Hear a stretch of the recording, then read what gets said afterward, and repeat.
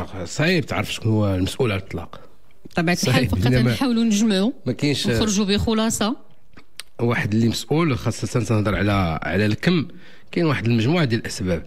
فاليوم المعلومة اللي بغيت نتقاسم مع المستمعين واللي حتى هي اقتراح في هذا المشروع ديال التعديل أو التوصيات اللي طلب صاحب الجلالة نصره الله للجنة اللي غتشتغل على تعديل مدونة الأسرة. جوج ديال النقاط اللي بغيت نقترح اليوم. هذه النقطة الأولى وهنا غادي غادي تجي الحكومة غتجي هذه القضية. ما ما ماشي منطقي هادشي اللي تنقول. لا ما يمكنش. هاد النقطة الأولى هي راه ما يمكنش نستمروا يعني في الحياة وما يكونوش مشاكل ديال هاد الأسرة اللي كنعيشوا اليوم وبهذا الشكل المهول إلى ما رفعناش من الحد الأدنى. راه ما يمكنش اليوم ما كاينيش إحصائيات ولكن كنتبغي المحاكم تعطينا الإحصائيات. كنتخرج بعد الإحصائيات كنتشتغل المحاكم على على الإحصائيات.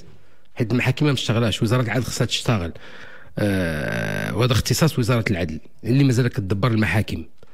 يعني آه المؤسسات المحاكم ماشي القضاة ولكن المحاكم.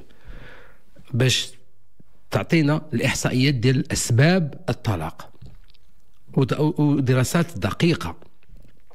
غادي نلقاو بأنه نسبة مئوية كبيرة سببها مادي سببها قلت الشيء ملي كنشوفوا اليوم الحد الأدنى هو 3000 درهم هذا في النظري في القانون. وفي الواقع كيتعطى الواحد يمكن آه جوج المليون ديال الناس اللي كانوا كياخذوا متأكد أنا بين أكثر من مليون. واش ما نبقاش نغامر بإحصائيات ولكن واحد العدد كبير. والناس اللي غادي يسمعوني يعرفوا راسهم معنيين.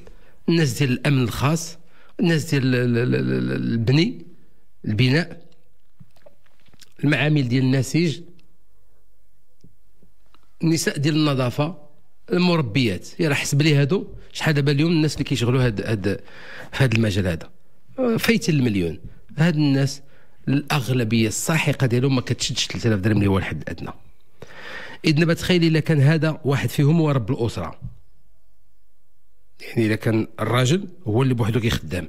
ولا احتمال الراجل راه ما خدامش عنده صعوبة ومرته هي اللي خدامة. تخيل واحد في هذا المليون ولا جوج المليون كيشدوا 2000 درهم ولا 1500 درهم. واش هادو؟ غادي يمكن لهم يعيشوا. واش هادو لا وليد وليد ولا جوج غادي يعيشوا. وحتى عاشوا واش غادي يعيشوا على الخبز والزيتون والحب؟ راه ما يمكنش الحب يستمر. مالك كديري لها هكاك شنو؟ ما عجبتكش هذه الكلمة هذه ياكلوا الحب دكتور؟ أنا حتى يقول لك لا ها هما بيناتهم الحب وداك الشيء والمودة والرحمة. راه غيتقهروا. راه غيتقهروا مع الوقت. راه 1500 درهم صعيبه باش الإنسان يطلب انه يقاد. تقول لها المرأة ساحرة. راه من يديها تعرف كيفاش دير تعرف كيفاش تقاد وتعرف كيفاش تقتصد هذاك الشيء كان زمان ملي كان الرخاء وملي كان البركة وملي كانت النية حسنة وملي كانت الأمور كتعامل كنتعاملوا بها بالصدق ماشي اليوم. اليوم ما يمكنش 1500 درهم ما يمكنش 2000 درهم تعيش بها وتبقى مستقر وهاني ما يمكنش. إذا عطيونا غير الإحصائيات قلنا شحال واحد كيشد 2000 درهم ومجوج. وغادي تشوفوا هذوك الناس هذوك اللي كيشدوا 2000 درهم شوفوا شحال فيهم مطلقين طبعا ما تنقولكش أنا اللي عندهم الفلوس ما كيطلقوش لا. ولكن هذا سبب أساسي خصنا نعالجوه باش ننقصوا شوية من الطلاق. حيت الهدف ديالنا ماشي ننهيو الطلاق. الطلاق راه راه حلال ولكن غير ما يكونش كنمشيو له بهذه الطريقة اللي كنمشيو لها دابا اللي هي همجية. طريقة غير مقننة نهائيا. اي كلمة جوج طلق. باش وصلنا لهذا العدد ديال ديال هذا المهول ديال الطلاق. اذا والمقصود من الهروب من الطلاق والخوف من الطلاق وتدبير الطلاق راه هو هو الأسرة والأسرة هي المجتمع. وراه ما يمكنش نبدأو مجتمع اذا كان الأسرة ديالها مشتتة. اذا راه ما كاينش مجتمع راه ما كاينش بلاد ما كاينش أمة ديالنا ما كونش واحد الاتحاد. وبالرغم من ذلك المغاربة دائما كيبقاو سبحان الله ملي كتوقع شي أزمة كيبان ذاك التضامن ديالهم. كنساو هذه الهموم هذه ديال الطلاق ونساو الأزمة الغلاء المعيشة ونساو الفساد ونساو الرشوة ونساو كنساو كل شيء. وكنوضوا هاد البركة اللي عطانا ربي في هذا البلاد ما نحافظوش عليها يا عباد الله. ندير الدولة غير دير اللي عليها. باش تعاون هذه الأسرة باش توقف على رجليها. اذا الحاجة الأولى نشوفوا علاش ما نديروش الحد الأدنى. اليوم باش ماشي هذا الشيء ماشي هضرة ديماغوجية ولا شعبوية ولا راه تيخص الإنسان راه خصني نكون مسؤول على ذاك الإنسان اللي اللي, عايش أنا في المقاولة ديالي. راه خصو ياخذ على الأقل على الأقل هذاك الحد الأدنى. ولو قلت لك الحد الأدنى تا هو ما قاتل هو 3000 درهم اللي ما كنعطيوش كنديروا 1500 و2000 درهم وكنديروا طرق ملتوية باش نعطيو غير 1500 درهم. فعطني نصرح به كيخدم 26 يوم كنقول كيخدم غير 16 يوم وكنعطيه 1500 درهم ولا 2000 درهم. هو كيخدم 33 يوم في الشهر. آه بزاف. اذا الأجر خصنا نعيدوا فيه النظر.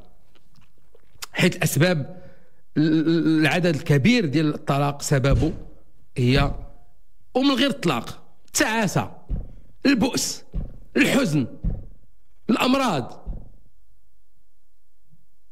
الاكتئاب أمراض النفسيه منين جاية باش ما نبقاوش نهضروا غير على الطلاق.